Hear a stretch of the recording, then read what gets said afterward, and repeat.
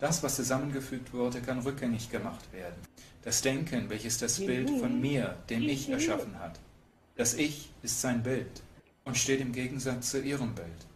Bitte folgen Sie logisch, das ist so. Diese Sache hat also das Denken zusammengefügt. Und wenn das Denken aufhört, löst sich die zusammengefügte Sache natürlich auf. Kann ich also, bevor ich sterbe, während ich lebe, diese Sache auflösen?